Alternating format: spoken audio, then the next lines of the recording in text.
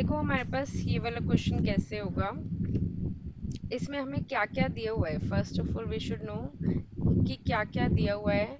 Are S की value दी हुई है right five kilo R L की वैल्यू दी हुई है right ten kilo V Z दिया हुआ है फिफ्टी वोल्ट और वी एस दो दिए हुए हैं कि एटी वोल्ट मिनिमम है और वन ट्वेंटी वोल्ट मैक्सिमम है। तो अगर वोल्टेज दो है तो करंट भी कितनी आएगी? जीनर के क्रॉस दो करंट आएगी, एक मिनिमम और एक मैक्सिमम क्लियर अब देखो, यहाँ पे हम क्या लगाते हैं? सबसे पहले देखते हैं कि इधर कितनी करंट फ्लो होगी? मैंने बताया था स्टैंडर्ड डायग्राम में, यहाँ पे आई या आई एस मान लो यहाँ पे. आई एस करंट फ्लो हो रही है. जीनर डायोड में कितनी करंट जाएगी? आई जेड और लोड करंट में कितनी जाएगी? आई एल तो अगर मैं यहाँ पे किरचॉफ करंट लो लगाऊँगी तो क्या फॉर्मूला बन गया? That is I S is equal to I Z plus I L right बन गया? ठीक है। अब हमें ये वाला फॉर्मूला यूज़ करना है। इसमें मुझे क्या चाहिए? जीनर करंट चाहिए राइट जीनर करंट के लिए मुझे लोड करंट पता होना चाहिए, है ना? अब according to Ohm's law V is equal to क्या होता है? V is equal to I R तो V क्या होगा? VL लोड करंट होगा तो IL और R भी क्या होगा? RL ये होगा?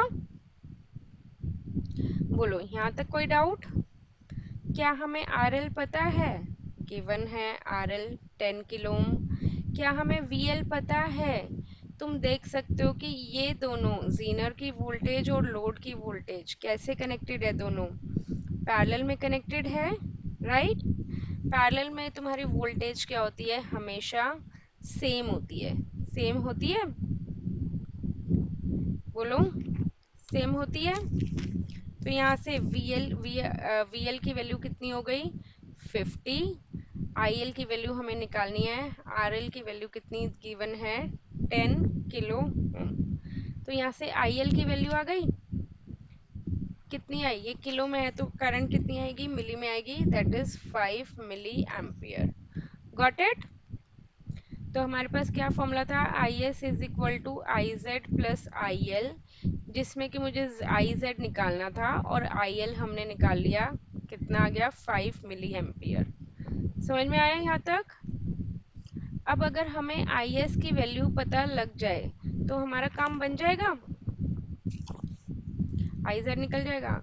बैक टू द क्वेश्चन अब आई एस का क्या फॉर्मूला होता है? एक स्टैंडर्ड फॉर्मूला होता है स्टैंड लिख लो चाहे I S is equal to V S minus V out divided by R R S अब देखो, ये फॉर्मूला ऐसे कुछ अलग से कुछ नहीं है। आया कहाँ से है फॉर्मूला तुम्हें पता है कि यहाँ पे हमने जितने भी वोल्टेज देंगे कुछ वोल्टेज ये कंज्यूम करेगा और बाकी की voltage Zener volt diode consume कर लेगा राइट मान लो कि अगर मैंने यहाँ पे 100 वोल्ट दी तो इसने 20 वोल्ट ले ली। बाकी की दोनों वोल्टेज ये तो पैरेलल है। पैरेलल में वोल्टेज क्या सेम होती है? तो यहाँ पे कितनी वोल्टेज आएगी? वोल्टेज अक्रॉस जीनर कितनी आएगी? 100 वोल्ट तुमने टोटल दी। उसमें से 20 वोल्ट इस रेजिस्टर ने ले ली।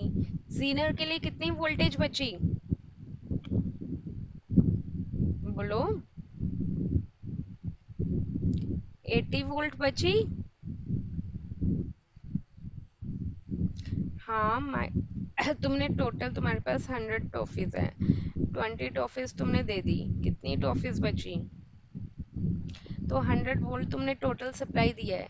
इसमें से मान लो ये बल्ब ये कुछ भी है डिवाइस इसने रजिस्टर ने 20 वोल्ट ले ली। तो बल्ब के लिए कितनी वोल्टेज बची? ठीक है?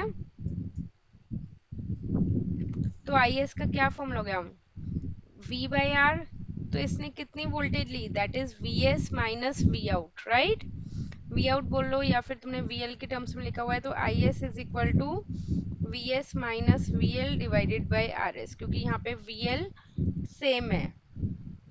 क्लियर तो अब यहाँ पे फॉर्मूला से निकालते हैं। आई एस का क्या फॉर्मूला बताया मैंने? V S minus V L divided by R S क्या हमें वी एस पता है? देखो वी एस पता है? V S is the supply voltage एक बार 80 वोल्ट है और एक बार 120 वोल्ट है राइट तो 80 वोल्ट ले ले, क्या? वो मैंने एक एग्जांपल दिया था 100 वाला रैंडम तो वी एस कितना है? 80 वोल्ट राइट वी एल कितना है? 50 वोल्ट आर एस की वैल्यू कितनी है?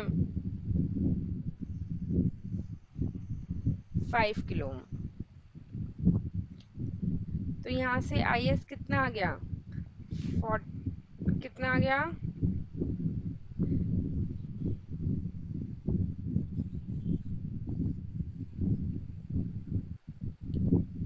जो भी आएगा thirty divided by five thousand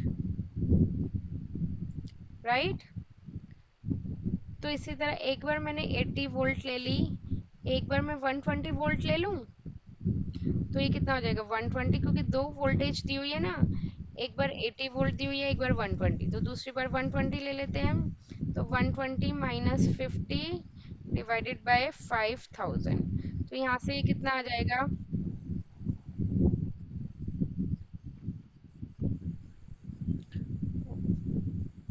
बोलो, यहाँ तक कोई डाउट? तो ये सिक्स मिली एम्पियर आ जाएगा। ठीक है?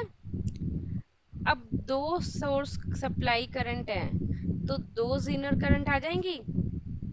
और हमें क्वेश्चन में भी क्या चाहिए था? दो जीनर करंट चाहिए थी, एक मिनिमम और एक मैक्सिमम राइट तो वापस फॉर्मूले में पुट करते हैं I S minimum is equal to I Z minimum plus I L I S minimum कौन सा है? सिक्स मिली एम्पियर या फोर्टीन मिली एम्पियर बताओ मुझे। कम वैल्यू किसकी आई है? सिक्स है फोर्टीन है? सिक्स है? तो मिनिमम है तो यहाँ पे सिक्स लिख दें। आई जेड मिनिमम की मुझे वैल्यू निकालनी है।